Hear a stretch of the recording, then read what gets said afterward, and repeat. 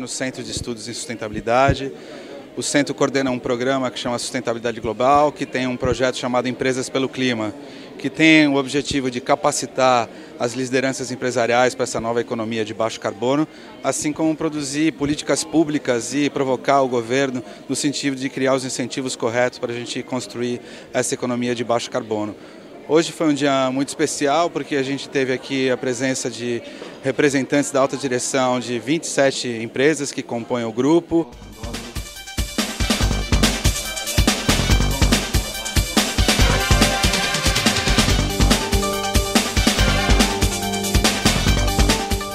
dos empresários na solução do problema climático, na construção de uma economia de baixo carbono, é fundamental.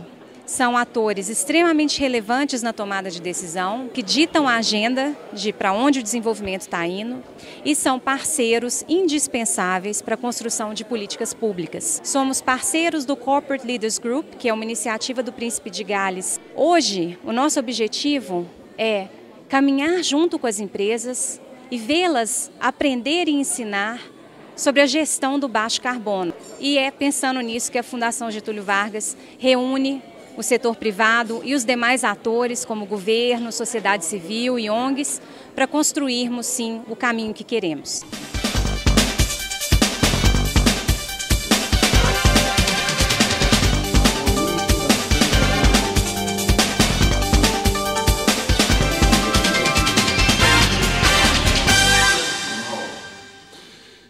Esse encontro foi fundamental para estabelecer vínculos e conexões entre as empresas. Os desafios que essas empresas vão ter daqui para frente vão ser, primeiro, gerar uma nova cultura no ambiente nacional, uma nova pegada de carbono muito menor do que a gente tem hoje em dia.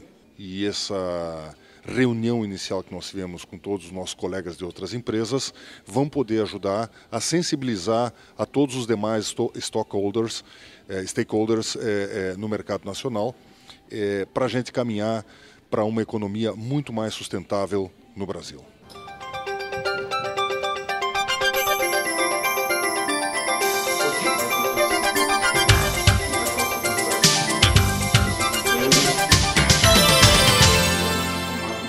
E hoje a gente teve um evento que, no meu ponto de vista, é um marco para o tema de mudanças climáticas no Brasil. Né? O EPC ele se propõe a fazer isso por meio do seu programa de capacitação, por meio de um conjunto de debates abertos, de discussões formadas em grupos de trabalho.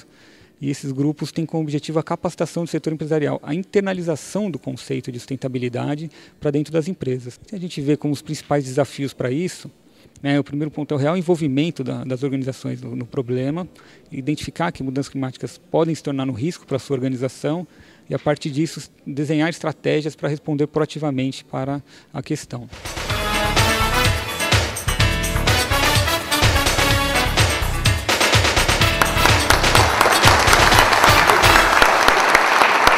O desafio agora vai ser uh, transformar isso em políticas públicas reais e aí a gente saiu daqui com a missão de fazer um tensionamento propositivo em cima do governo. Uh, isso tem um impacto para a sociedade, mas também tem um impacto sobre o setor empresarial.